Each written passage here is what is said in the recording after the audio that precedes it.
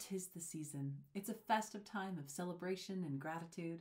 We look forward to our annual tradition of forcing child free folks to take up extra shifts to cover our need to be with our family for the holiday. I look forward to it every year. I swear to any and all gods you choose, that's what folks expect me, a parent, to say. Every year around the holiday, the internet sparks up the discussion, and rightfully so. Everyone wants time off around the holidays, whether or not they've got kids at home. Child free folks might not have children of their own, but they have families, friends, and personal lives that need tending to.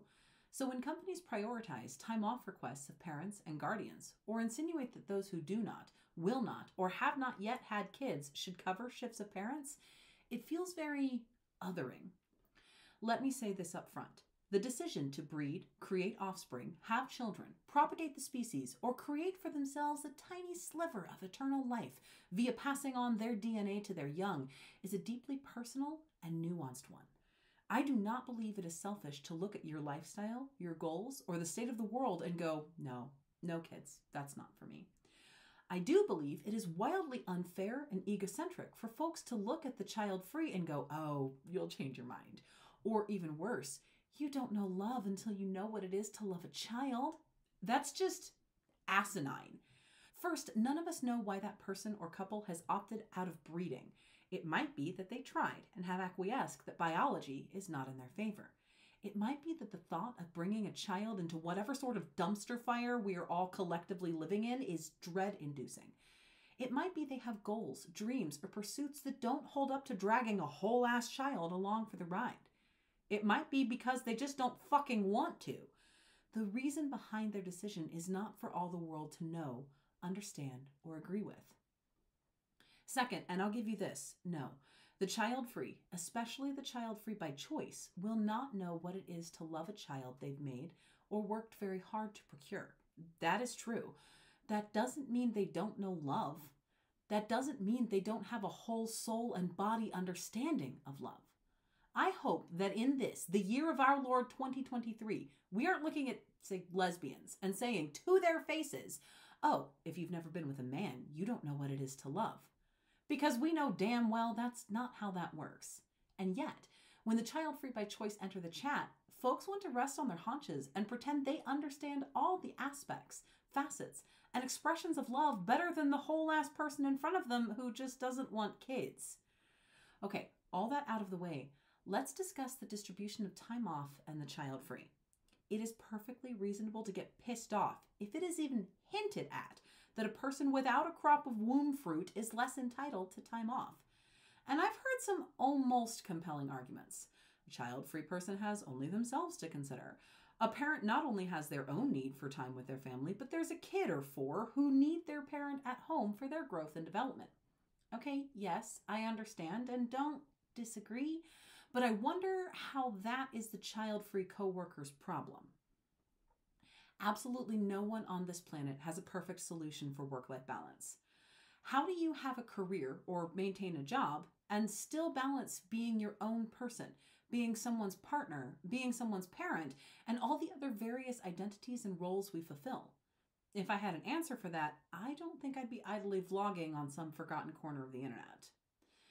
Having kids cannot and should not be the basis on which companies decide who gets time off. On the whole, it is my opinion that most businesses that are open on holidays probably shouldn't be, but that can't be a broad sweeping statement. Certain industries do have to stay open and staffed. Of course, the medical, first responders, law enforcement, and public safety fields have to stay staffed. I'll even leave space for the case that a handful of gas stations might need to stay open. Service professionals like plumbers, electricians, or HVAC techs might need to be on call. And of course, there's all sorts of businesses owned by people who do not celebrate certain holidays. They may choose to remain open for the sake of others who also don't celebrate. So, as much as I want to say the simplest solution is just stop making people work on fucking Christmas, nothing is quite so black and white. As for companies pressuring the child free to forsake their holiday, yeah, that's still bullshit. You get to be pissed. You should be. But, and here it comes, the people you should be pissed at are not the people with kids. Nope. My decision to have kids is just as personal and nuanced as your decision not to, fellow coworker. It has nothing to do with you and should not be made your problem. But I want the time off just as much as you do. The ground I'll give is that my having kids does not make me more entitled to it. We shouldn't even be arguing with each other, because neither of us is the problem. The problem is corporate culture and bad management, friends. If at any point a manager makes you feel like you should volunteer to work for a coworker who's got kids, or tells you that a child free coworker got their request in first, but since you've got kids, they're going to approve your request. When I tell you the red flag should be bursting like fireworks, what I mean is that is super problematic behavior. The onus of keeping the place adequately staffed isn't the employee's problem to solve. That's wholly on management. In the same way, the world will look at parents venting about how hard it is to have kids and say, well, you chose this. The decision to pit parents and the child free against each other in some sort of Hunger Games cage match over time off requests is, in fact, a choice that either management or the corporate culture created by the company has made. If child free folks didn't feel absolutely attacked by this notion that you are less than if you choose not to bring a child into your life, I don't think they feel so put off by parents simply existing and kids being kids. This is wholly my opinion, but it's a hill I'm willing to get hurt on, at least. I'm not fully committed to dying on it yet. I'm working out my own biases there. If parents weren't constantly under pressure to be perfect in all aspects and be both the sitcom perfect parents and consummate professionals at all times, they wouldn't feel so threatened by folks who were capable of making a different decision with regard to procreation. And it's companies who continuously redirect employees to go after each other rather than admit they are understaffed, underpaid, issuing shit benefits, and absolutely refusing to see their employees as whole ass people who encourage us to fight amongst ourselves. Okay, great, we're on the same page. How do we fix it? Well, to start, we have to get everyone else on the same page. It's not an us against them scenario in the way hustle culture and the corporations or people folks present it. There is an us and a them, but it's not parents versus child free. It's employees and employers. It's companies devaluing all their employees and reducing them to labels that are creating this division. While we cumulatively examine and break down corporatized barriers around our personal lives, Here's my temporary solution. If they want you to fight about and blame the other side for who got that time off request first, if they want you to duke it out amongst yourselves, then do just that. But do it like adults. One, remember that dates are arbitrary and time is made up. You don't have to celebrate a holiday on the holiday. I recognize it is nigh impossible to convince Nana June that we can pretend December 22nd is Christmas Eve. But if you're in control of the family event planning, you can just move the holidays as is convenient.